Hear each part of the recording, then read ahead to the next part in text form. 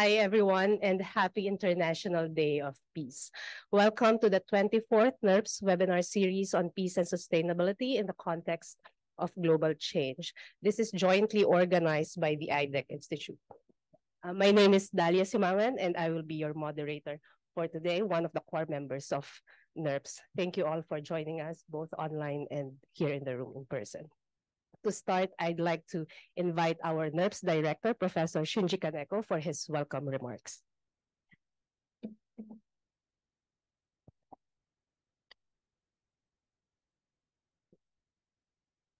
Good morning, everyone. Uh, and this uh, uh, room here, and also uh, participant online.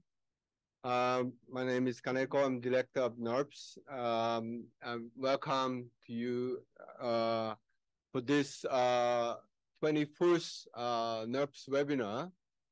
Um, we actually started uh, two years ago, exactly the same day of uh, International Day of Peace uh, we we inaugurated this event uh, during the kind of difficult situation uh, in the pandemic.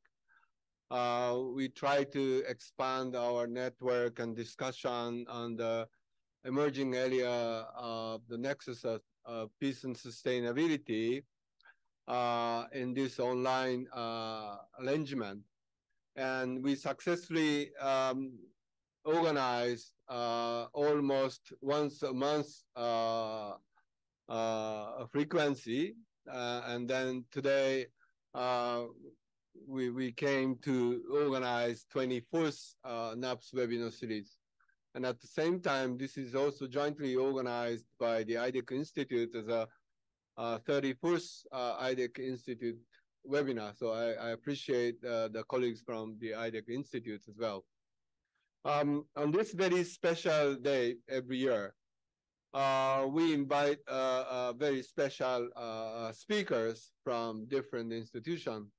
And this year, I'm very pleased and uh, highly appreciate uh, Dr. Vincenzo Bolletino from Harvard University kindly agreed uh, to speak to us about uh, his uh, rich uh, and very valuable experiences in Asia from from uh, United States and and share with us about the, the insight and perspective on the very special issues of the nexus of peace and sustainability through the issue of climate change and disaster. I'd like to also express my sincere appreciation to our old uh, colleagues and friends uh, all, all, the way from Tohoku University, Professor Hibiki, uh, to also kindly uh, agree and accept uh, uh, to serve as a, a, discussant. And also we have a very special also guest on site here from Nagasaki University, Professor Fumihiko Watanabe from Nagasaki University.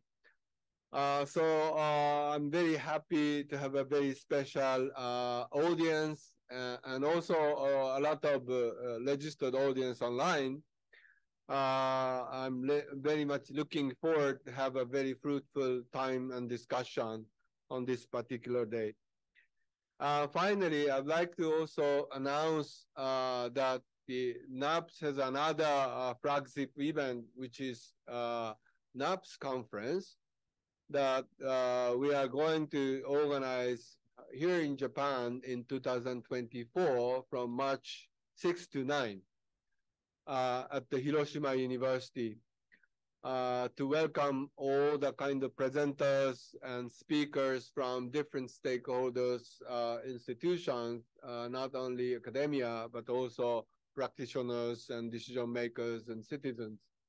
So uh, on this uh, uh, occasion, I also like to encourage and invite all of you to actively register. And registration process is now available online. So please visit our website and then uh, actively, you know, uh, register and join the event in March as well. So thank you very much, and I'm very much looking forward to have a fruitful discussion. Thank you. Thank you, Professor Kaneko, um, for your welcome remarks. Um, before I introduce our speakers, I'd like to take this opportunity as well um, to announce that after this webinar, the first Positive Peace Society in Hiroshima University, and arguably in Japan, will be officially launched. This society is a student organization created by our very own students here at Hiroshima University. And you, we hope that you will be able to stay um, after this webinar for that official launch. Um, and that's also in celebration of the International Day of Peace. Right, so let me now introduce our speakers. What I'm going to do is introduce our um, presenter and our discussant before moving on to the presentation. Our special guest, our speaker, as Kaneko Sensei mentioned earlier, is Dr. Vincenzo Bolletino. He is the director of the program on resilient communities at the Harvard Humanitarian Initiative and research associate with the Harvard T.H. Chan School of Public Health.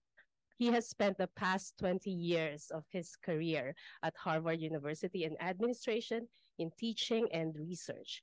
And his current research focuses on disaster preparedness and resilience, humanitarian leadership, climate change, and civil military engagement during humanitarian emergencies. All of this we're going to hear uh, during his presentation. He earned his PhD in International Studies and International Security from the University of Denver. Friends and colleagues, join me in welcoming Dr. Vincenzo Bolletino. Thank you so much. It's such a, an honor to, to be here. I'm truly grateful uh, to both the faculty and, and staff at, at NERPS for inviting me. Um, I'm looking forward to presenting some of the research that we've done in the Philippines on disaster preparedness uh, and looking forward to your questions and engaging in a conversation about uh, the implications that climate change pose uh, poses for the globe, um, but it, it seriously uh, serious uh, implications for Asia as, as well in terms of uh, future preparedness for disaster and resilience towards climate impacts. So I'll be sharing with you um, presentation that I've prepared. Uh, hopefully you see this. Um, I'll give you a little bit of background. Um, uh, so my first uh, foray to the Philippines was in 2013, uh, just after uh, Typhoon uh, Haiyan, which was the name, international name, locally called Typhoon Yolanda. and I was there to look at civil military coordination in response to that disaster. So looking at how international militaries were coordinating with the armed forces of the Philippines and with civil society organizations in the Philippines and international humanitarian organizations to provide um, relief uh, in in the um, aftermath of that massive uh, typhoon, uh, and a typhoon that was really um, a turning point, I would say, for the Philippines from um, having a, a, a rather reactive posture towards disasters and uh, thinking um, instead about what the implications are of climate change and how uh, the country could better leverage uh, government resources, private sector resources, and civil society resources to prepare for future disasters, given some of the challenges that uh, climate change posing. Uh, uh, was posing and and was made manifest by um, the massive impact that Typhoon Haiyan had. Um, a little bit about the Harvard Humanitarian Initiative, where I direct a program on resilient communities. Uh, we're an interfaculty initiative within Harvard University, and uh, we are administratively uh, and programmatically based at the Harvard H. Uh, Chan School of Public Health. Uh, our focus is on doing uh, research and education on disasters, on, on human, humanitarian action broadly, and on human rights and development issues as well. my program focuses on disaster preparedness and resilience, and I'm going to share with you some of the results of the research that we've been doing in the Philippines. Uh, but we also have experience um, in in Bangladesh, and we've also begun a program now in Nepal as well, all focused on disaster preparedness and resilience. So our core mission is to be able to bring research and and develop an evidence base, and to bring that to bear to really inform uh, how policies are are created, and to and to inform the intervention strategies of government, of international NGOs and local NGOs uh, in terms of their own uh, preparation for disasters and how they understand the communities that they would provide services for, their their views of uh, disaster disasters and their own experience with disasters. So our focus is really at looking at household level data trying to understand and get information about how Filipinos themselves experience disasters, how they view climate change, and what this means in terms of the overall preparedness system within the Philippines. Um, our our core uh, vision is to be able to empower people um, at the at a very local level um, to enable them through information, through data, through research, to be able to better anticipate, prepare for, and respond to disasters, and to begin to adapt to and mitigate the impacts of, of climate change. So that's the core focus um, of our of our research.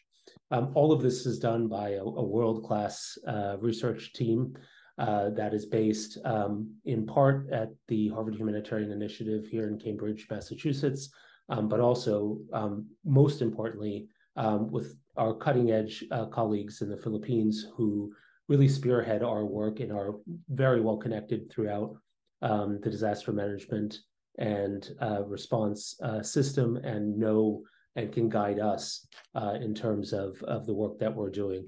I'll also say that one of the things that we rely heavily on, um, in addition to our staff in the Philippines, is a research advisory group uh, that we've put together that represents government, uh, civil society, national level non-governmental organizations and international NGOs.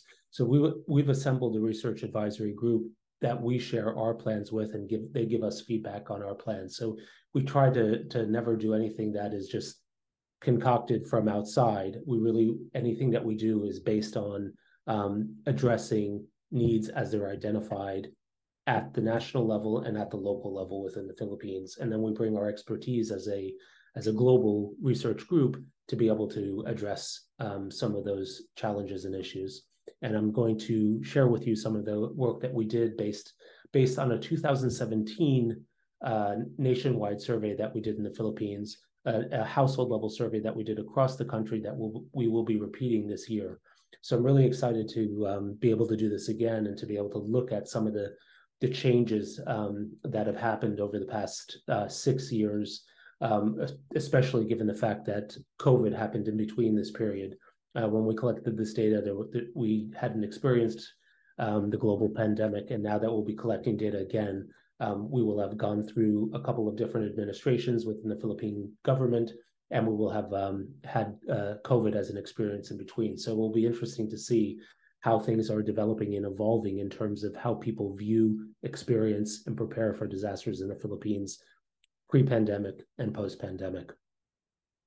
So why the Philippines? Um, like Japan and other countries in, in, in Asia and Southeast Asia, uh, the Philippines is a country that sits within the so-called Pacific Rim of Fire.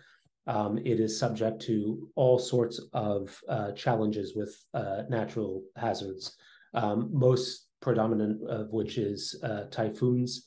Uh, there are anywhere from 20 to 25 typhoons pass within the Philippines area of responsibility each year.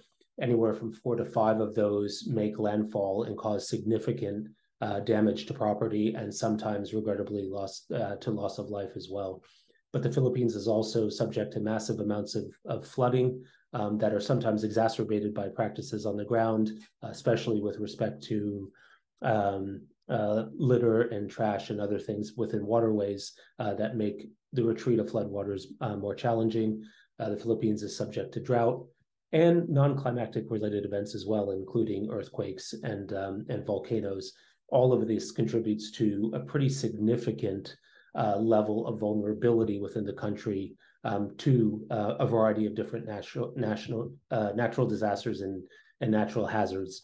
And so um, this is the reason that we're we're focused on this because um, this is true in, in sort of the normal course of events for the Philippines, but given the fact that climate change is significantly exacerbating uh, these sorts of events and changing patterns um, and making things uh, more difficult um, to model and predict, um, the Philippines is really in a in a sort of uh, difficult uh, position given its uh, geographic uh, position and and where it is situated within Southeast Asia, and so it is really important to try to begin to understand what these impacts will mean for for the government and for the private sector and for civil society within that country. And that's why we're we're uh, engaged in the Philippines and why we think that developing the evidence base is so important so that as policies are formulated and organizations are considering different preparedness measures that they can take, that it's informed by a real a really rich understanding of how people themselves are thinking about experiencing and preparing for disasters. Now, I'm going to begin actually by um, cutting right to the key takeaways from some of the research that we've done. Uh, and then I'll get into sort of how we came up with these, these conclusions as we move through this, this presentation. So one of the things that we we identified is that there's generally um, a limited amount of knowledge about climate change across the country at the household level. Um, generally, Filip- Filipinos have um, have a, a, limited knowledge, and of course, this is very dependent upon um, wealth, upon um, educational background, um, where they're located geographically, and their experience with disasters. Um, people's ex- knowledge of climate change varies considerably across the country, but on average, it's there, there was fairly low level of familiar, familiarity expressed with the with the concept and how climate change is impacting the country. A second key takeaway is that climate change risks are not evenly distributed across the country. And this is probably no surprise. Um, this is true globally. This is certainly true in the United States, where, where I live. Um, where you are, the amount of wealth you have, the level of education you have are all factors that contribute to your ability to prepare for and respond to and recover from um, disasters. And the same is true in the Philippines, where there's a significant variation from one region to another in terms of Filipinos' preparedness uh, for disasters and their ability to um, manage the impacts of a changing climate. A third key takeaway that was really interesting, I think, from, from the data is that um, we noticed that there was a significant difference between what people expected, um, who they felt were responsible for uh, responding to and preparing for disasters, and who they actually experienced uh, as providing services when they were in the midst of a disaster or part of a, a, a, disaster themselves. So there's a real um, uh, difference between how Filipinos uh, think about responsibility for um, preparation for a response to disaster and who they actually experience um, providing assistance. And that that's really important for, I think, policymakers to understand and, and appreciate because it speaks to uh, the importance of awareness raising and communication, but also education and and um, uh, and and thinking about interventions in the future. Um, another key uh, takeaway is that um, only a third of, of Filipinos that we uh, surveyed across the country uh, and by the way, the survey was uh, was nationwide. We did this across the country. It was a total of um, 5,184 uh, respondents across across the country that we we surveyed at the household level. Only a third of Filipinos um, un- actually undertook measures to prepare actively for disasters, and the way we measured this was in in three ways. Uh, one was their engagement in planning, so understanding whether they worked with their family or with local government or with or with friends and, and others to actually plan for disasters. A second measure was around their engagement in training. So, were they exposed to any kind of training? Did they receive any, any kind of official education or experience with disaster preparedness measures? And the third was in actual um, material investment in disaster. And a material investment in disaster uh, could was a could really range um, from um, actually putting resources into their home to, for example, strengthen the roof or strengthen the home to make it resistant to typhoons, or it could be things like putting together a go bag so that people were prepared if they needed to be evacuated with the materials that they needed. Um, looking at putting aside um, food, water, and other supplies, medicines, for example, um, or safeguarding um, uh, important documents. So all of these were sort of material investments for disaster. So planning, training, material investment is how we measured um, measures that were taken by families to to prepare for disasters. And of those we, we surveyed across the country, a third of them engaged in one or a combination of those measures. Another really interesting finding is, is one that's more related to um, people's knowledge of climate change, but also interestingly to their own sense of self um, efficacy. That is their own belief that they can actively prepare for disasters. What we noticed was that people who, uh, in the data, what we noticed in the data was that people who um, believed that climate change would impact their own households were far more likely to engage in preparedness measures than those who did not think that climate change was going to affect them. And similarly, people who had a sense of self efficacy, who felt like they could make a difference, also actively took measures to prepare for disasters, um, which is really important because it shows a link between um, self awareness, um, one's psychological well being, and active engagement in disaster preparation, which um, is something that we really want to explore um, going forward. The, the, the final um, sort of observation that I'll make is that there's a strong link between preparedness for future disasters and climate change adaptation. It makes very little sense to prepare for what is invariably going to be repeated disasters and potentially worse disasters in the future without actively including in those policies ways of adapting to climate change. Um, and so this is something that we're trying to look at both at, at a community level, but also in the practices of national NGOs and international international NGOs, so that they're not only preparing to respond, but as part of their response, they're preparing those communities to better adapt um, to uh, future threats. All right, so how do we measure preparedness and, and resilience more broadly? So as part of the survey instrument that we created, we looked at a variety of pieces of information. We looked at information and communication. So where do people get their information? What information do they trust?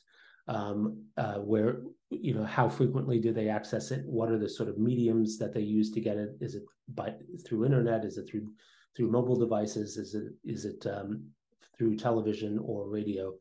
Um, so looking at people's um, source of information and their trust in the information is one component of resilience that we looked at.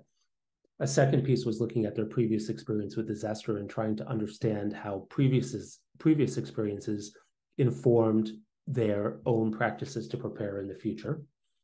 The third is to look at their economic capacity, to look at the sort of livelihoods component, and to look at the, the natural resources and environment in which they live Clearly, uh, depending on where you live, whether it's coastal or inland, whether you have greater resources or fewer resources, all of these things are going to impact your ab- ability to effectively prepare for future disasters and to adequately adapt to some of the challenges that climate change present. We also looked at security and, and the link between people's sense of um, safety and security, um, understanding that the Philippines is a varied environment. There are some areas of the country that uh, experience ongoing latent and sometimes um, uh, active uh, conflict for a variety of different reasons, particularly in the um, uh, southern region of uh, uh, Mindanao, and and how security is is interlinked with environment, climate, and and how those things impact um, people's views of their own um, well-being and how they think about and prepare for disasters. we looked at governance and leadership. Uh, we looked at the impact of community leaders and how uh, uh, engagement with with community leaders impacted um, preparedness within communities, and how their own trust in governance um, uh, impacted their own views on preparedness.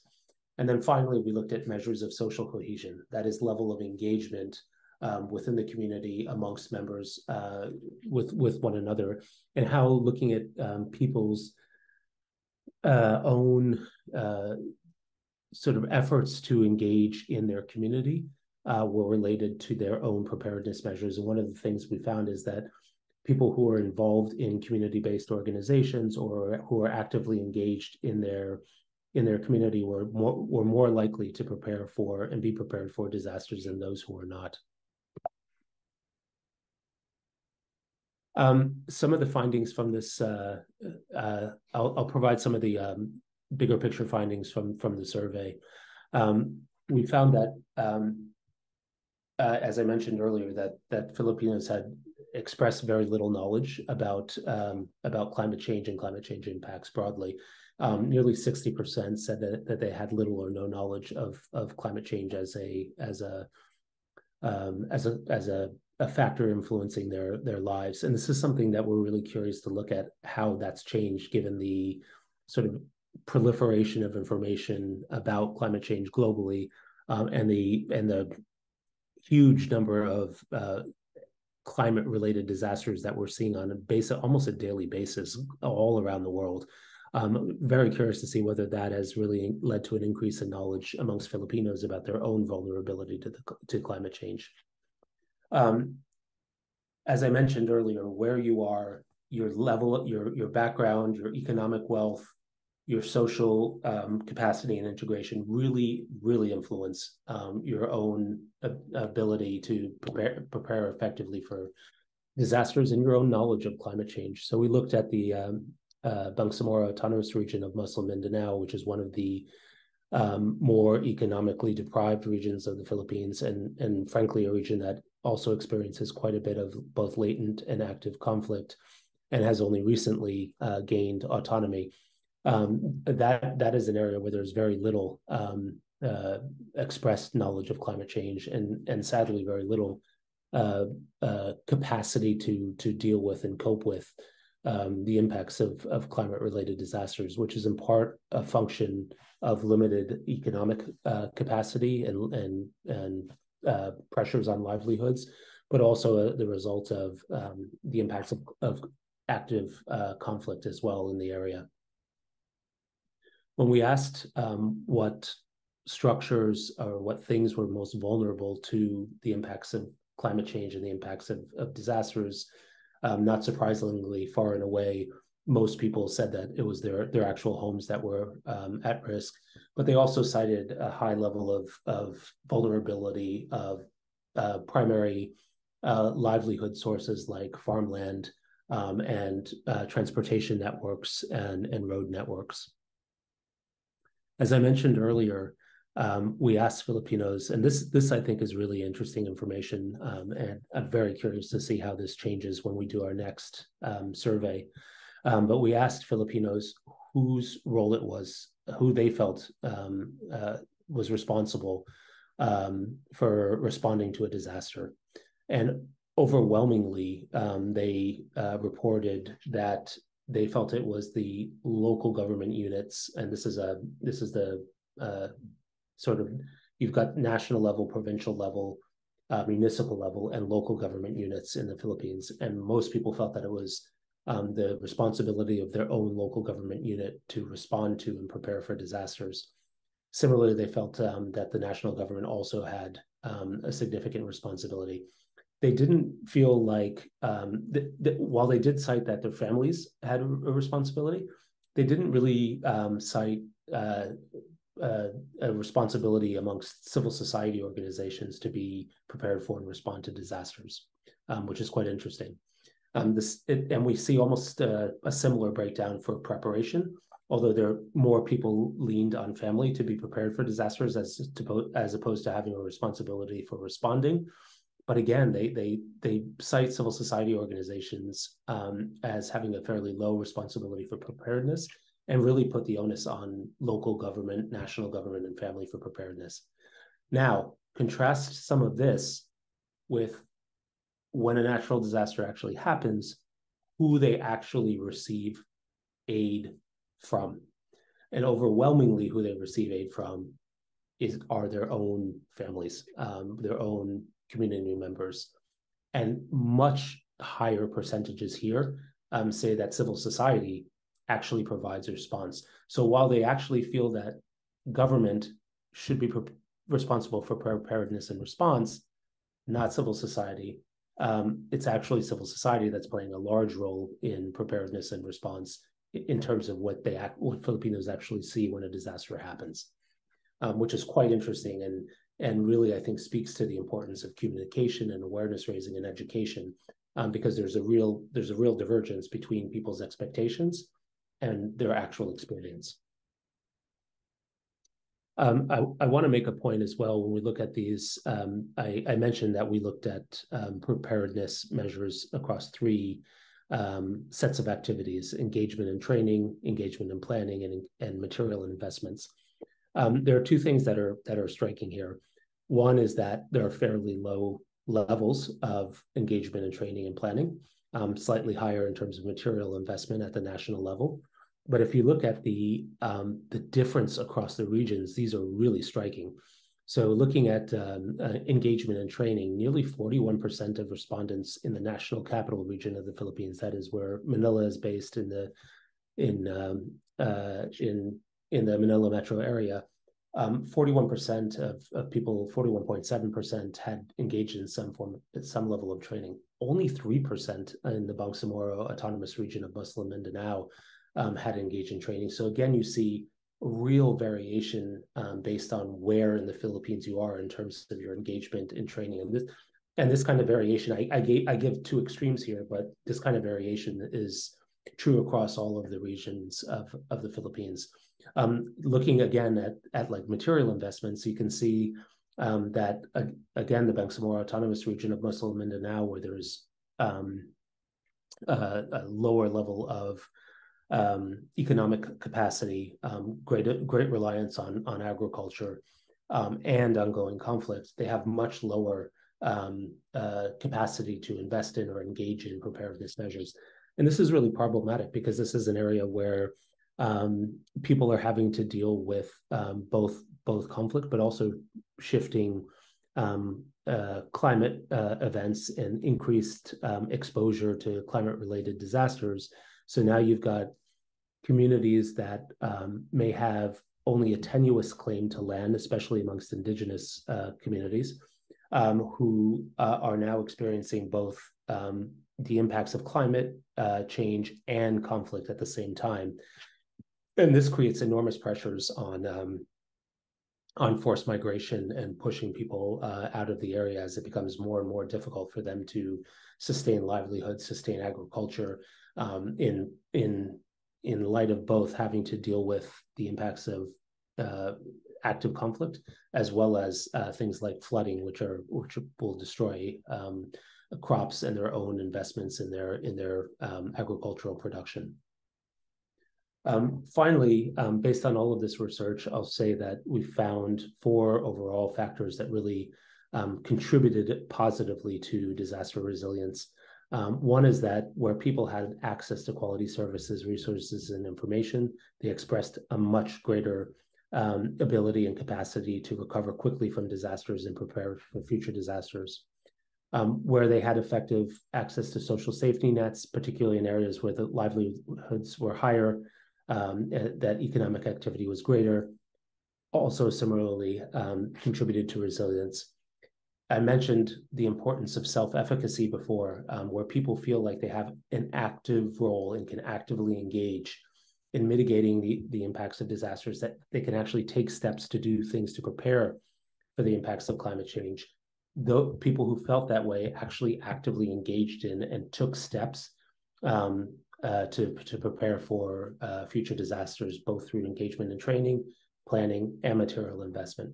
So all of these things uh, contributed to a much greater sense of uh, preparedness and resilience in the country.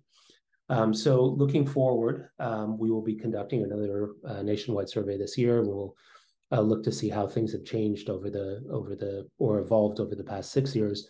But simply to say that um, I think at, at the end of the day, it's really important to not only look at some of the quantitative measures of, of looking at how uh, climate change and other uh, climate related disasters are impacting economy and um, ability of at the national level to prepare for disasters, but really looking at trying to understand how people themselves think about uh, disasters, what their concerns are, what steps they're taking um, to engage and prepare so that there's a greater link between what national government and local government are doing with what people actually experience, see, uh, and do, uh, so that there's a, a greater um, unity of effort that translates local experience into both um, local policy and national policy.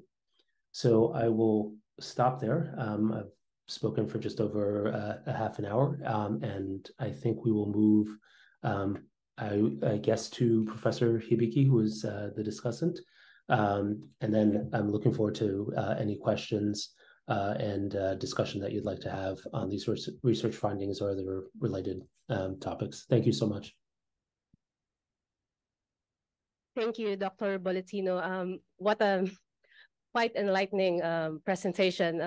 I'm a Filipino. I'm originally from the Philippines. Um, I, I, think some of the audience um, who are also from the Philippines um, share the disappointment about the inaction of our government, especially in terms of the gaps that um, the government uh, provides and the community needs. But at the same time, it's quite encouraging that um, everyday people, you know, your family members, your neighbors, uh, are, there um, in times of disaster. So the the issue of empowerment um, quite striking for me. I think that's one thing that we have to work on really in the Philippines. Right, thank you so much. Um, let me introduce our spe another special guest, our discussant, Professor Akira Hibiki. He is the head of policy design at the Graduate School of Economics and Management of Tohoku University. In the past, he served as president of Society for Environmental Economics and Policy Studies. Um, he also held positions at Sophia University, where uh, he obtained his PhD the National Institute for uh, Environmental Studies, and Tokyo Institute of Technology. His current research focuses on the economic impacts due to climate change in Japan and some developing countries, uh, including Vietnam, Panama, Kenya, and others, and also the health impact of outdoor pollution and indoor pollution in Bangladesh. Professor Hibiki, the floor is yours. Uh, good morning, everyone. Uh, my name is Akira Hibiki from Tohoku University. Um, Okay. Uh, I appreciate having an opportunity to discuss such uh, interesting research. I'm also interested in the in this the field in this field because I'm working to explore how we can mitigate the impact of power outage caused by the natural disaster and how policy can complement the individual preparedness. So in order to discuss, I read his paper published in the international journals then I thought I discussed the content of his research. But uh, so I uh, my today's dis- uh, discussion is relatively technical. Then uh, almost discussion is uh, is for uh, his papers, which he does not talk today, right? So I don't know whether I should keep I should continue my discussion. Yeah, let me try to discuss uh, his about his paper because this is very interesting. So please uh, go ahead. Uh, please move. Next, please. Uh, as he's already mentioned, uh, the reason why he conduct this research is less is known about how public awareness affect, uh, if affect preparedness against natural disaster risk in the context of developing countries. So the purpose of his paper, he go he went beyond today's presentations. What he did, did is uh, he explored how public uh, perception, knowledge, and past experience of natural disaster affect preparedness against the risk, right? So in order to uh, analyze such issues, he used a myth, uh, like a, a regression analysis to understand the causality right? Then which which variables are right she to uh, explore and he explore which variables are likely to affect preparedness. So his main findings are the majority of Filipino are not well informed or well recognized about climate change. And also the knowledge about climate change is low. So he is, today he explained such a thing today. Then for the from the uh, his analysis, uh, risk perception, uh, awareness, the past experience of the natural disaster, and educations uh, positively affect the preparedness. So this is uh, this research importantly explore uh, the status of the preparedness in Philippines as one of the case studies on the developing countries and consider optimal policy design to mitigate the damage or enhance preparedness. So next, please. So uh, this comment is related to his paper, not this, today's discussion, not this pre presentation. Uh, please forgive me. So uh, in one of his, uh, uh so one, uh, he one of his findings is uh, research perception have different impact on preparedness, uh, meaning affecting make. He he has uh, several outcomes for preparedness. One is the general preparedness. The other one is making plan to mitigate uh, the natural disaster risk. And also the other thing is, um, I mean, uh, material invest, uh, whether they implement material investment, right, to strengthen their house or to mitigate the damage when he encounter uh, their uh, natural disaster, such as typhoon. So, uh, so, so in his findings, the risk perception has a different impact on preparedness.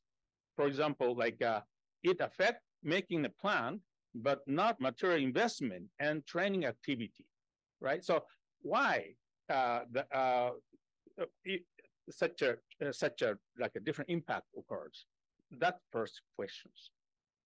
So the other thing is, uh, I mean, so so why? Uh, so in his findings, climate change impact on household are different from uh, like uh, like uh, climate change impact general.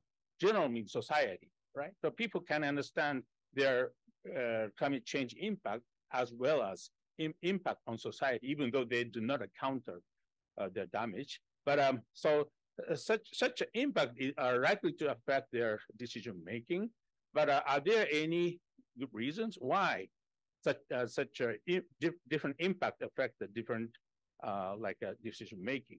So because, for example, his finding is that climate change impact on household increase uh, preparedness, making plan, but not material investment and train activity. On the other hand, climate change impact general for society affect making plan and material investment, but not general preparedness and train activities. So why this difference occurs? Next, please. So um, next comment is uh, preparedness depend on the local location and its geographical correlations. Uh, they're ge geographical correlated. So, so how is it correlate with the actual frequency of the event of natural disaster? actual frequency of the event is likely to affect the local government policy measure uh, against the natural disaster, which is uh, unobserved in this study, but affect uh, preparedness. In this case, it may be a good idea to control a spatial or correlation. Maybe this is too technical, but sorry about it. And also in his paper, uh, he, he get, obtained a very important, um, I mean, uh, findings, but uh, maybe uh, the like variables to affect the preparedness maybe depend on some variables. For example, such impact maybe depend on rich and poor, or such impact maybe depend on uh, uh, urban versus rural, or minority or majority, right? Or different educations. So are there any, uh, maybe may, you may not uh, analyze it, but uh, uh, are there any possibility that the heterogeneous impact is heter heterogeneous? Okay. So the last comment is um, you, obtained very Im important findings, right, uh from the previous studies on develop very important findings. But I would like to understand uh, how your findings are different from the finding in the previous studies focusing on developed countries, and also how such a differences uh, occurs. Uh, lastly, uh, uh, let me mention about one things about the power outage caused by natural disaster, um, uh, since it is important in the context of, of developed countries, though it is it is uh, beyond his, his scope. However, it might be possible research topics in the context of the de uh, developing countries, right? Because long hours power outage caused by the natural disaster affect human life.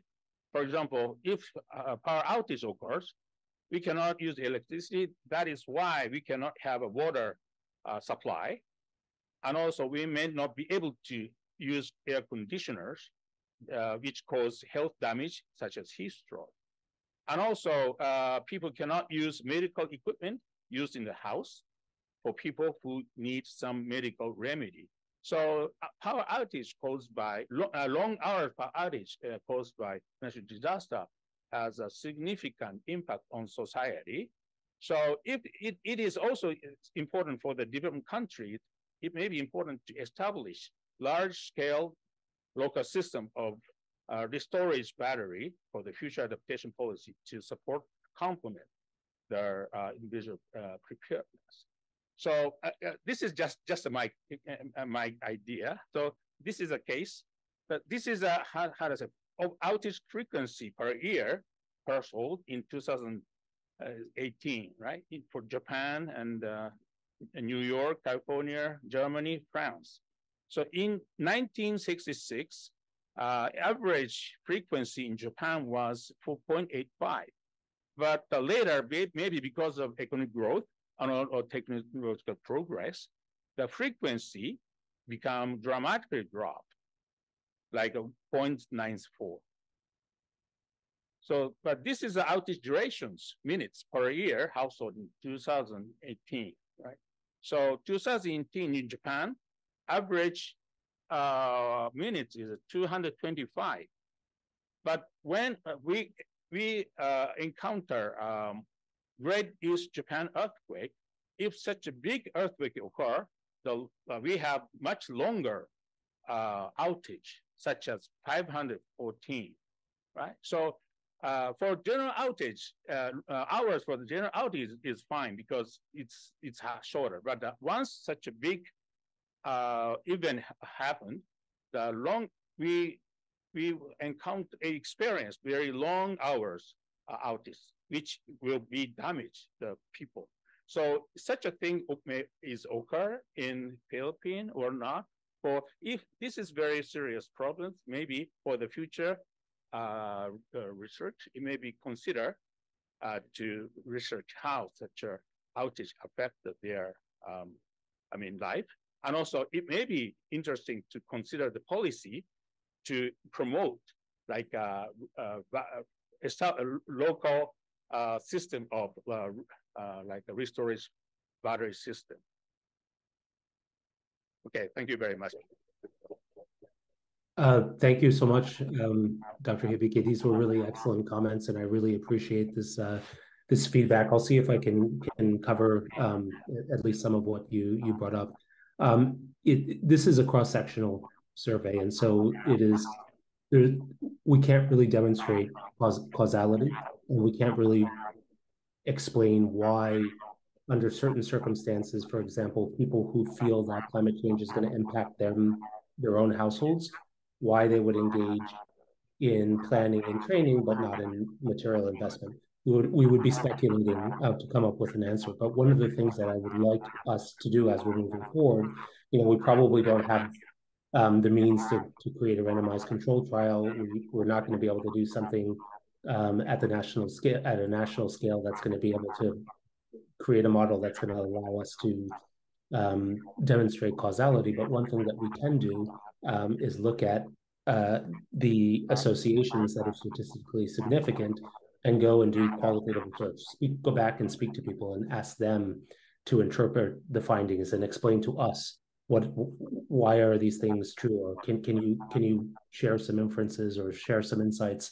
about why these um, associations have have emerged uh, in in the data? So that's what we we try to do. That's difficult to do at a national level. You can do it at at a more local level to try to interpret the data. And that's that's some of what we do to be able to explain some of the the variations that you brought up but from the data itself we, we can't you know we can we can say whether or not the association is statistically significant but we can't say why people engaged in one activity and not and not another um, um, you mentioned um, frequency of exposure to to hazards we we did ask how many disasters in the past five years people were exposed to, but we didn't find a, statistically significant association with with frequency.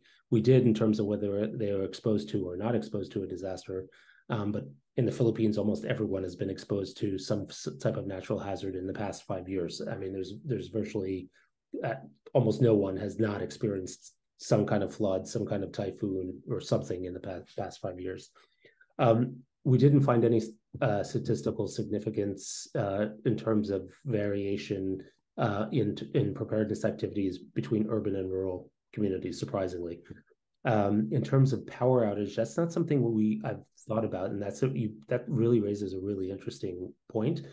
I don't know that I, I think that's some data that we could get probably from the national level and and try to look at how that's associated with um, different uh, what people's actions are. We did ask about things like whether or not people had generators, um, but I didn't look at pulling in data like national level data from the Philippines on on frequency of power out, out frequency of power outages and their duration. And that's a really interesting idea and, and something um, that we could do this next time around, which I'm really glad you brought that up because uh, I, I, think that's important and, and not something that that we've done. So thank you so much for for uh, for that feedback. Um, I tried to pull out the associations that I thought were most interesting from the paper, but I didn't cover every single um, association that's in the paper, especially around things like links between uh, livelihoods at level of education um, and and their connection with uh, different preparedness activities. Thank you, Dr. Bolletino, and thank you, uh, Hibiki Sensei, for those crucial interventions that, that really complement well with the presentation by uh, Dr. Bolletino. Um, we have almost around 30 minutes for open discussion. We already received several questions from our online audience and even during the registration, but I also encourage those who are participating here in person to to ask your questions or even share your you know uh, comments and reflections. Um, let me start, uh, while you're thinking uh, about your questions, let me start with uh, some of the questions that we have received during the registration, uh, Dr. Bolletino, if you don't mind. I'll just read a couple of them. And then we also have questions, especially from our um, um, colleague, Dr. Hassan Verji, who is also joining us online. Um, this first question is from Kevin Bautista of uh, the University of the Philippines in Diliman. And he asked, are there any government policies around data, communication, or journalism that will help Filipinos learn from and prepare for future climate change related disasters? This is the first one. I'm going to ask the second one. And the second one is um, from Hiroshima University, Bisma Anskaya. What is the role of the military on climate uh, change-induced disasters um, in the Philippines? Um, is it okay, uh, Dr. Bolletino, for you to answer those two questions first? Thank you. Yeah, sure, absolutely. Um, on the first one about um, uh, uh, disaster management policy and, and its relation with uh, communication, I, I mean, we we have in the Philippines the the 2010 um, Disaster Risk Reduction and Management Act that that sort of stipulates and governs um, the role of the National Disaster Risk and Reduction Management Council and the different levels of government responsibility for both preparedness and response. Um, in terms of how that links into journalism, I I don't know if there's a if there to be honest, I don't know if there's a, uh, uh, element within the act that that speaks directly to to journalism. Um, I know that it differentiates different roles and responsibilities of, of different government actors um, and and ministries, um, but I would say that there is a rich um, uh, amount of journalism in the Philippines that happens around around disasters. There's no lack of of, of information, um, and um, increasingly, especially Filipinos are actually very uh, active on on social media and, and, the like as well. So they're also reporting um, on on local uh, disasters as, as, well. So um, probably not a not a you know it doesn't really fully answer the the the question um, on the in terms of the role of um, the military. So in the Philippines, as in many a number of countries in in Asia, the armed forces of the Philippines has a plays a prominent role in in major um, disasters. Um, it's if the local government unit can take care of um, of of a particular natural hazard, that's sort of the default. Um, but if it is a disaster that rises to the level of needing national capacity, um, the mili- military does play um, a si- significant role. Um, and we saw that certainly in, in Typhoon Haiyan, not only the, the AFP, but also international militaries as well. And since then, um, not there haven't been international um, uh, intervention to uh, um, to respond to disasters. The Philippine government since 2013 has been solely responsible for it. They haven't requested international support since then. Um, but the the AFP does play a primary role, and and this kind of becomes a difficult, I think, consideration probably for the government because, you know, ideally you have you rely on civilian agencies to do things like disaster response. Um, and that you train a, a, strong cadre of civilian agencies to be able to prepare for and respond to disasters, because it's the primary role of most militaries to defend um, the the country and not necessarily to have a military set up in order to to do nothing but respond to disasters, even if in practice militaries do do that frequently. Um, but I would I would say that it it makes more sense um, thinking about um, some of the risks that that climate change are are are, are now um, uh, playing that the military try to look at its primary role in defense as opposed to um, trying to create increased capacity to respond to natural hazards and instead to to invest in civilian agencies, rely on local community organizations, and really put money into the hands of um, civil society and rely on private sector as well to really bolster that capacity um, for preparing for. Uh, and and I would enhance, I would definitely um, also um, suggest that the preparedness measures are even more important than preparing to respond because we know that we're going that in the Philippines you're going to have to respond all the time. So if you can mitigate the costs of and the impacts of disasters in the first first place, then you can lower the cost of response. And ideally, that response is really run by civil society organiz- organizations, civilian government, and not not have to rely um, so heavily on on the military. That that would be that's my personal um, view. Thank you, uh, um, Enzo. I think when it comes to the information as well, there's a big issue in the Philippines about not just misinformation, but also disinformation. So the first question kind of related to that as well. And in terms of military's uh, role, again, the variation in in the regions, right? The not everybody has the same uh, perception of the presence of the military, like in the yeah. Bangsamoro region, even though yeah. the military will be able to respond, the perception will be very different from the northern part of the country. Uh, abs- absolutely. No, no question. Yes. Thank you. Okay, I'm going to ask some of our attendees um, in person. If you have any questions, you may just raise your hand and our support team will um, give you the microphone.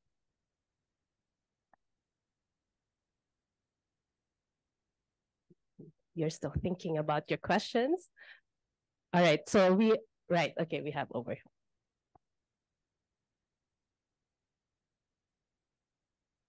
Thank you. Uh, hi, uh, this is Rohan George from the economics program here at Hiroshima University. Uh, thank you very much for that uh, for the presentation. Uh, my own research area is on the impact of glacial lake outburst floods in Nepal, so kind of related to, to some of the stuff that you spoke about just now. Um, I, am interested to know in terms of your research, have you come across some of uh, uh, some of the adaptation strategies like migration of people in the Philippines uh, as a response? And is it even possible given the density and the geographical location of the Philippines? And I just had a quick comment as well that I'm not surprised to see that 60% of people were not aware of climate change because even in my own discussions with people in the general public, uh, you know, maybe maybe two or three out of a hundred people have have some recognition of this. So it's not surprising. It's quite it's quite uh, it's quite concerning to me as well. But uh, thank you. Uh, no, thank you so much. Um, uh, well, for one, I would uh, I would love to I would encourage you to reach out to me um, when you get a chance because I'd love to hear more about your research, especially since we are now um, starting to do research in Nepal as well, and we're looking at where we can have the greatest impact, and, and we're likely to focus on at a more local level as opposed to doing sort of the nationwide work that we've done in the Philippines. Um, although we're still very much in the nascent stage of, of figuring out where where we can have the most um, impact and where it would be the the most useful. So I'd love to hear more about your your own work in Nepal. Um, yeah, it's I you know to to be honest it's like it, it it's difficult to say in terms of like um uh it, it is alarming um that that people aren't as as aware as you you think they might be. And I, it's hard to imagine that over the past six years people haven't become increasingly aware um, particularly given Filipinos' access to social media and to, to television, that they're almost literally, I mean, every day it seems that somewhere in the world there's some impact of climate change that's just bizarre in terms of um, precedent uh, in you know whether it's fires in Siberia or California or or Hawaii, um, whether it's droughts or or major flooding. I mean, look at Libya. Like uh, these things are just like uh, off. It's off the charts, and it's really difficult in, to to predict and model this. So. Um, I think that you know increasingly there's got to be more um, uh, attention that's paid um, to uh, improving communication, education, awareness raising, and really tying people's local um, experience to local policy and, and intervention so that there isn't a mismatch between what people are expecting to happen and what people and what government is actually investing in and preparing to do. I don't know if that fully answers your your question. Yeah, yeah, and sorry if I can just ask, have you seen any evidence of migration of peoples as an? Oh, as migration, yes, yeah, yeah, yeah. I knew I missed something. Um, that one is difficult. Um, it, it's really hard to say because it's mixed in with so, so, many different things. I mean, Filipinos move around a lot um, for economic opportunities, but also as a result of uh, of exposure to um, both natural hazards and, and conflict. Um, and it's difficult to know um, there there are some decent studies out there that have been done by um, I believe the International Organization of Migration um, and maybe UNHCR as well, looking at migration, and it is a factor, but it is likely to become much more serious of a of a of a factor um, in in the future, um, and um, yeah, and and to to the extent that that it's that it's national only in character versus international will, will be interesting to see as well. But there's no question that there is some link between exposure to natural hazards and, and migration. There was a huge migration outside out of um, uh, Tacloban after Typhoon Haiyan uh, of refugees being a bit, well, they're not refugees, internally displaced persons being moved um, to Manila and elsewhere out of uh, Tacloban.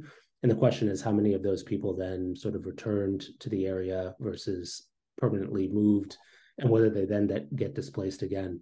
Um, one thing that's definitely true, and we saw this with COVID as as well, is that it is much more difficult for marginalized groups, um, whether they're marginalized economically or socially or politically, um, for them to be able to uh, find the resources to be able to stay um, th- and they're more likely to be um, displaced um, than people of economic uh, means who are not otherwise marginalized.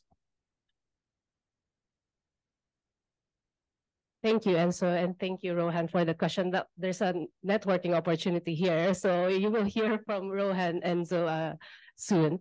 Um, right, unless we have more questions from the floor.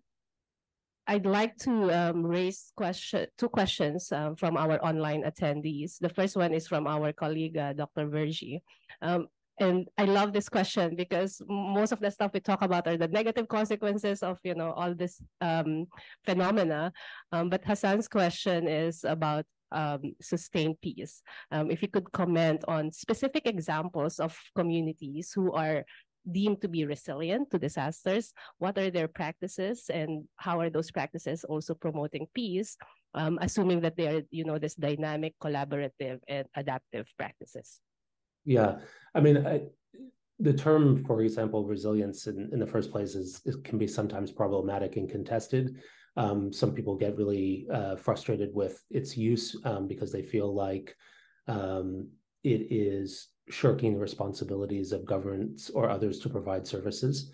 Um, and they, you know, just because they're able to survive um, a, a, a, natural disaster doesn't mean that they're thriving, and they'd like to be able to thrive. And so, um, they don't. Often, people don't want resilient their own resilience to be used as an excuse for not providing them with with services and and helping them better prepare for future disasters. So I'll just mention that. Um, the things that we really noticed uh, were, and this is we're looking at the household level, right? So some of the things that we've noticed is that individuals really can make a difference. So um, uh, individual community leaders can make a big difference in terms of raising awareness and education, in in garnering support from other community members to to proactively do things like raise the level of um, shelters or platforms to create evacuation centers that are um, safe from floods. Um, there's all kinds of exam- positive ex- examples of um, people taking individual actions, whether for their household or at the community level, that improve or increase the resilience of a particular community. Um, and there's lots of examples of people beginning to try to to work across um, uh, disciplines. And so recently, for example, uh, we worked with colleagues from Mindanao State University in Iligan City um, to host a workshop that looked at the intersection of conflict, climate change, and the environment. And there we had some fantastic scholars, um, practitioners working for community-based organizations and other NGOs, um, uh, really thinking about and looking at ways to leverage their own expertise from di- different disciplines to leverage the their own um, experiences within communities that they were working with. So they were working on some of the on some of the same issues, but from very different vantage points. So some from a climate adaptation lens, some from a, a peace and security lens, and others from more humanitarian and, and development angle. And even getting uh, those communities to begin to speak to one another can really enhance um, coordination and and thereby um, improve resilience in those communities as well. But but there are lots of positive uh, examples. Uh, there's no there's no question and there's a spirit of um, and one of the things i'm actually quite curious about is how this would play out in, in the data but there's of course the spirit of of um, neighborly help in, in the philippines. Um, um the term bayanihan which is you know plays out at a very local level in terms of um, people helping one another um, to prepare for uh, respond to and recover from from disasters. But again you know there's that difference between expectations about who should be preparing and responding and who actually does. And, and there needs to be some bringing together um, of policy and preparation with community experience. Thank you. And so our um, researchers at NERPS are really interested in these positive examples, and uh, we are really striving to highlight this um, existing practices that many other communities can learn from. We have two more questions, uh, but more technical question about the data collection. You have mentioned earlier that you are already uh, at the stage of uh, doing your research in Nepal related to this. Um, the question is, um, what are the other countries that you're planning to do this kind of survey? That's the first one. And the second one, um, also, I think it's very interesting because during your presentation, I was actually thinking, what is the Filipino translation of climate change? So the question by Christian Kyle Balange, uh, how were the scales of measurement given to the Filipino respondents? Were they translated in English or other forms? Yeah, um, so great questions. Uh, so we are working in, we, are continuing to do most of our work in the Philippines. So we will be doing another nationwide survey there. Um, hopefully this it gets underway this year. Um, we um, work with a local um, polling organization that has enumerators or data collectors that are um, located across the country. Um, we work with those enumerators to train them on the survey instrument that we develop. The survey instrument that we developed is based on a couple of things. One, the literature. So, how have people measured disaster preparedness and resilience in the research um, and in the literature? But also, we work directly with um, local uh, experts from civil society, private sector, government um, across the board to make sure that the questions that we are asking are locally contextually relevant. And then we include different scales or measures that we're interested in. So, for example, we look, what we're interested in mental health and this connection between mental health and um, I mentioned how important self-efficacy was. So there's this there is some link between mental health uh, and engagement in preparedness activities, and that's something we want to better understand. There's also clearly a link and increasingly the use of scales that measure climate anxiety. And so one of the positive things that we were hoping to do is to look at um, the sort of the the opposite of that as efficacious measures people can take things that contribute to them feeling like they can do something uh, at, at an individual level and and how that links up with their own um, actual engagement and preparedness. We're also looking at persons with uh, ho hoping to include. We're going to include a scale in, in term with looking at persons with disabilities and how persons with disabilities are affected by impacted by um, disaster and how that is different from the uh, general population or how it compares to the general population. So we will continue to do that work in the Philippines. We also have done some work in Bangladesh, um, looking at uh, coastal uh, resilience, looking at impacts of sea level rise and increasing soil salinity. Um, I mentioned earlier that we are going to be doing research in Nepal as well. We just completed a, a scoping study uh, to look at some of the national capacities and areas that could could benefit from research. And so we're trying to figure out exactly um, what what that you know what shape that research is going to take and whether we're going to look at for example flooding in one region versus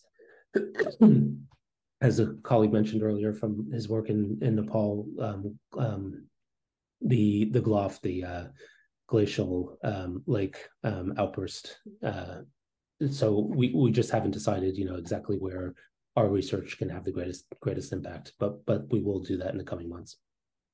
Super exciting and so and we look forward to the uh, results of those uh, future research activities. Uh, we still have a lot of questions from our online audience but i really encourage those who are attending in person to also provide your crucial interventions in this discussion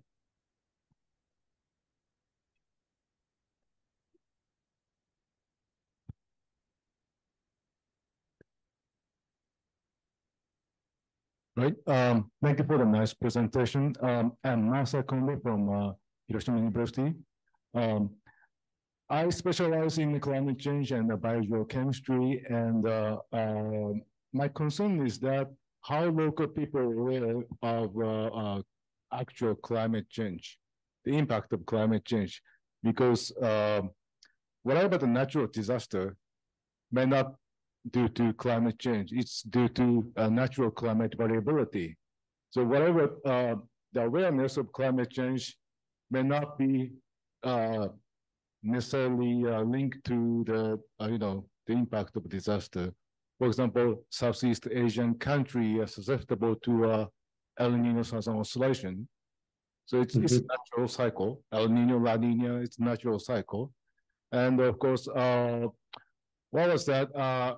The mega fire in uh, Australia a few years back is not due to climate change, it's due to a uh, combination of natural climate cycles. So it's, my point is that nowadays everybody think uh, extreme events are due to climate change. That's not the truth.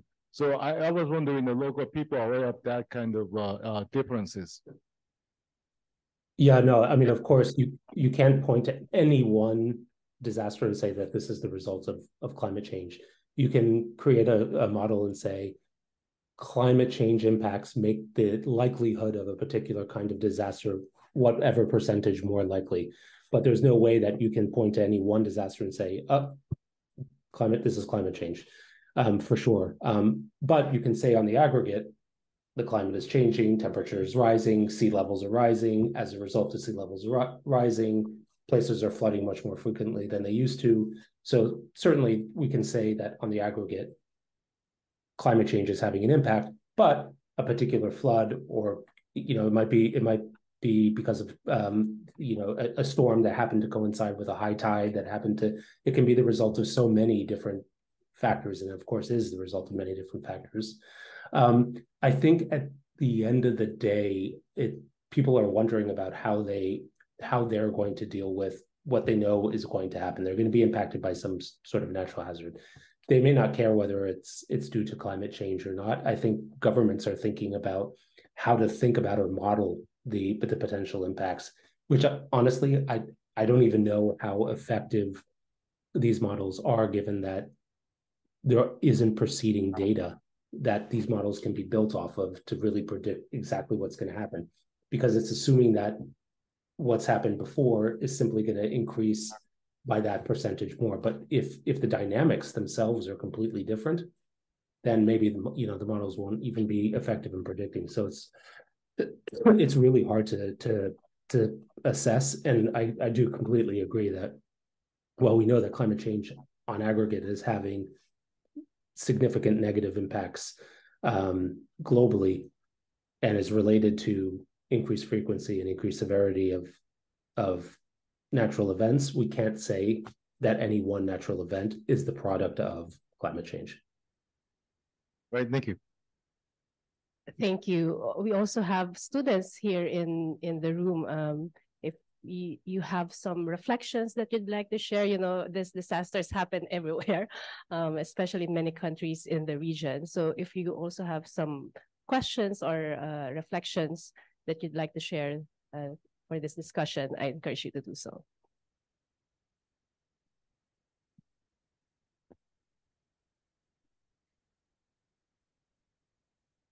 And if you could please introduce your name and where you're from. Thank you. Um, thank you very much for your presentation, um, Doctor. Um, my name is Taufik. I'm from Indonesia. Um, my research, um, nothing to do with climate change. Um, my research was film. But um, when it comes to climate change, um, things that come to my mind and um, to see the, what happened in Indonesia, um, people are not aware of this, especially the local people because um, I think you mentioned that um, that people are not aware because they're thinking of something to fulfill the basic needs, and we, have been living in this condition for a very long time. But then, what when it comes to make a huge change, I always think that the industrial uh, aspect would do bring such a huge impact I mean, um, right that we have to uh, bring the awareness to the local people and see how they do understand, whether they do understand what's happening and what's going to happen later. But then these big companies, for example, they play a very important role. Um, mm-hmm. I'd like to mention the example that's happening now in Indonesia that people are not aware of the effect, uh, especially in Jakarta, the capital city. We are now talking about the air pollution. And a lot of people um, now really realize that this is really happening because we can see that. A lot of people take pictures of that and post it on social media. But then when some um, local media try to trace um, where is exactly the um, um, um, the source of these things happen, it's of course it's from the people because because we uh, we commute with with with um, cars and and motorcycles, but then the the factory around are contributing to this, and the fact that they actually contribute a huge amount of um, um, um, factors to, to the situation. So, what's your take on this? I mean, you um, your research uh, better to, to uh, more to, to the local people to to bring the awareness, but um, do you think um, that would? I'm not. I'm not. I'm not being very. I'm not. I'm not trying to be negative here, but then mm-hmm. if the local people are, are, do understand what's going to happen, in fact, they might be the first person to get affected. Yeah. But then, how much do you think that would change the situation later?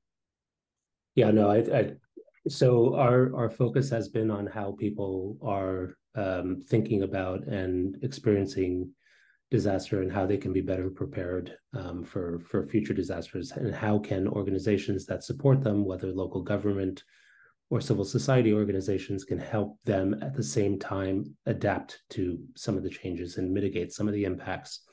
Um, so we haven't looked at um, any individual's contribution to for example global climate change through through emissions. Clearly um, the impact of private sector of industry is is enormous and it's innovations and and technologies in those areas that I think hold the greatest promise for hopefully reducing some um, greenhouse gas emissions and mitigating some of the impacts um, of uh, those emissions on on contributing to um, uh, global temperature rise. But that you know how quickly that can happen as opposed to how we begin to feel the impacts of that temperature I think is difficult to say for sure. Um, it's hard to know when an innovation is going to come and how how significant an impact it, it will have um, in mitigating some of those impacts and, and in lowering greenhouse gas emissions.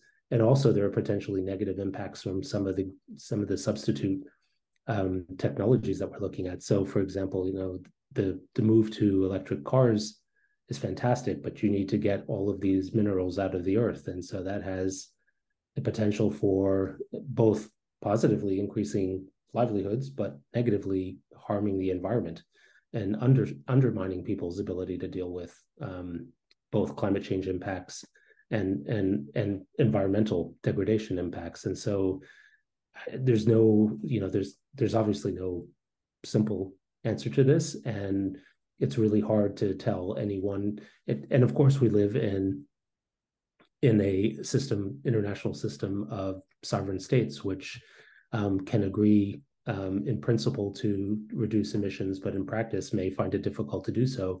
And every country has to weigh its own national interests, its own economic growth, its own demands of its own citizens with a country, a, feeling of um, responsibility towards um, lowering greenhouse gas emissions and trying to begin to mitigate the impacts of of uh, future climate change.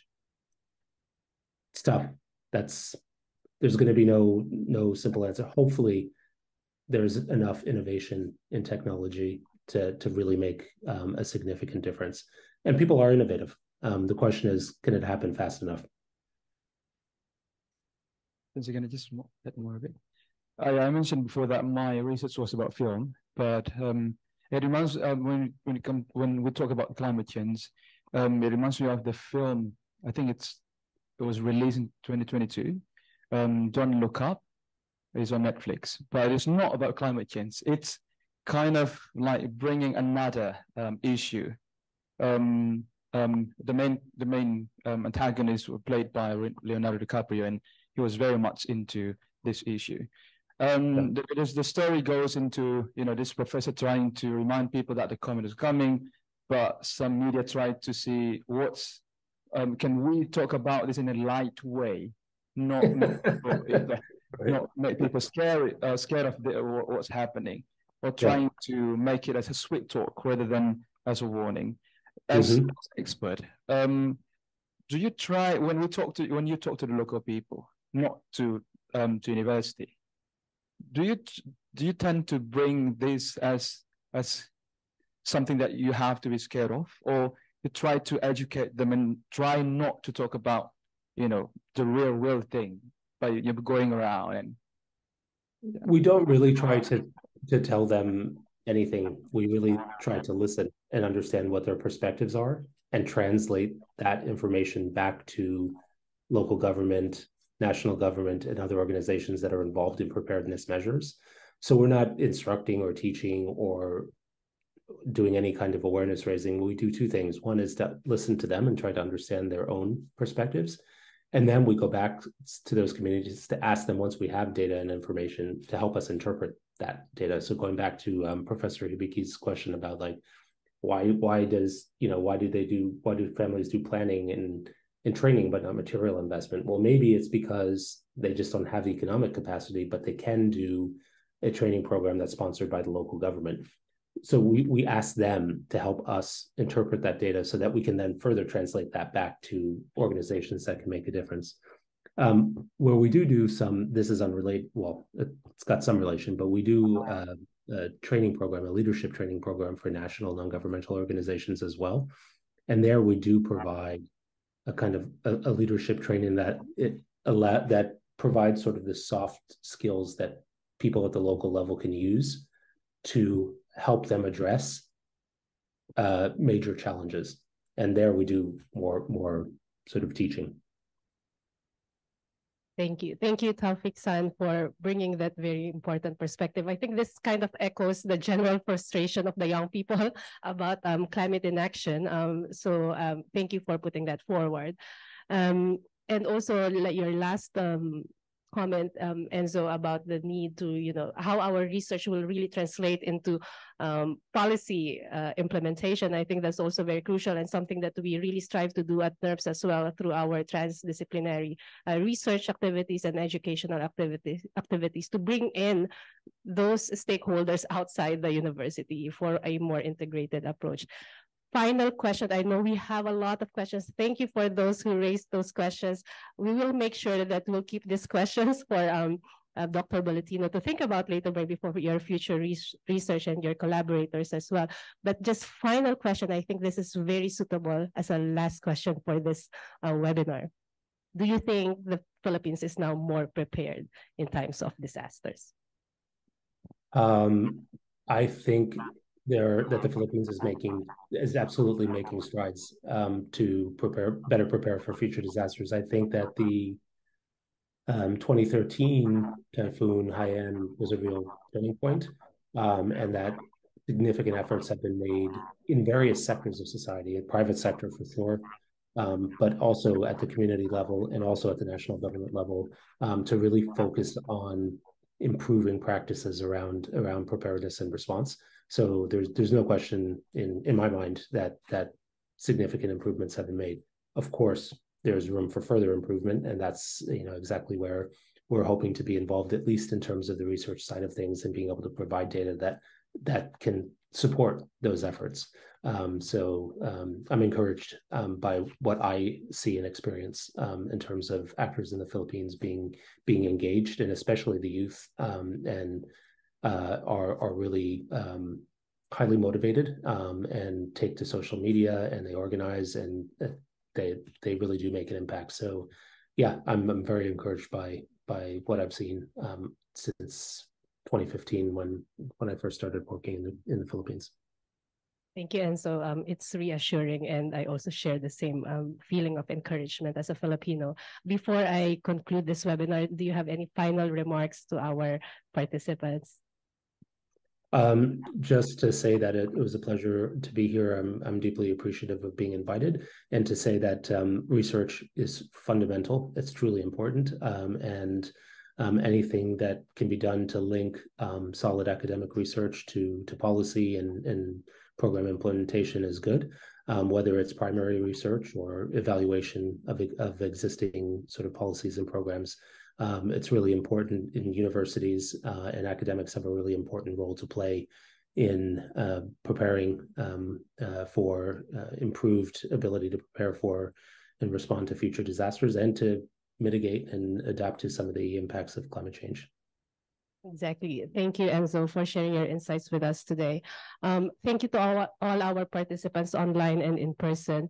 And I also want to, again, uh, remind everybody that the deadline for abstract submission to our NERPS conference is this October 15. So if you have all these uh, research topics related to climate change and disasters, very much welcome for uh, to submit your abstracts and you can visit our website uh, for more details about this. And if you're also not following us through our social media, please follow us so you can uh, stay tuned for our uh, future activities. And I hope that we'll see you again in our future events. Uh, colleagues and friends, join me in thanking again Akira Hibiki Sensei for the discussion, uh, Paneko Sensei for the welcome remarks, and of course our special guest, Dr. Bolletino for this insightful presentation. Thank you. Take care. Have a good day. Thank you, Enzo. Bye-bye.